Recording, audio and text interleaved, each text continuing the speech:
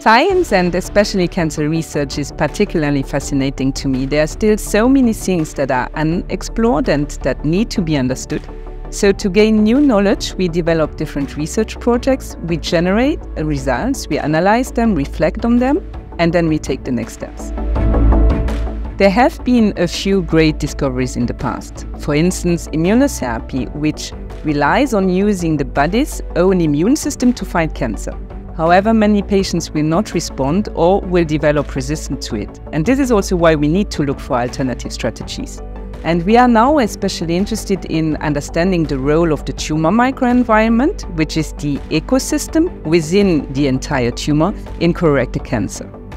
One focus of my research group is to understand the role of the gut microbiome in chronic diseases, including cancer.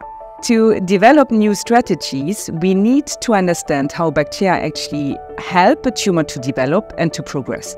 But on the other side, we also know that bacteria can help immune cells to fight the cancer and thereby might also represent innovative strategies for colorectal cancer patients.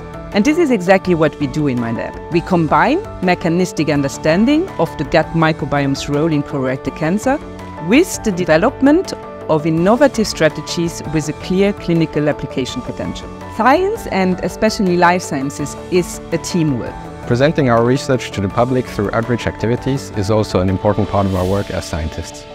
Last year, we organized an outreach event called Inside Colon, where audiences of all ages had the opportunity to learn about colorectal cancer and its prevention strategies. We had the opportunity to interact with the public and explain to them the way the disease progresses, the different therapies that are available, and the role of the microbiome in colorectal cancer. Another important aspect of this event was to engage with a younger audience. We wanted to explain the risk factors as well as the importance of a healthy diet. To engage them and to convey this message, we organized an art and science competition as well as a comic and a video to explain this in a kid friendly manner. Science is about exploring and discovering.